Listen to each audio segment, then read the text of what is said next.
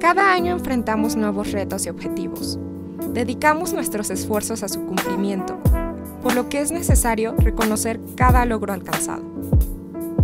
Con el primer informe anual de actividades, el director de la Facultad de Medicina, el doctor José Rodolfo Cruz Acosta, se presenta en este evento donde buscamos acercar e informar a la comunidad estudiantil de Campus Universitario Siglo XXI sobre las actividades académicas y administrativas que se han concretado favorablemente gracias a una actitud diligente, laboriosa y optimista ante el futuro.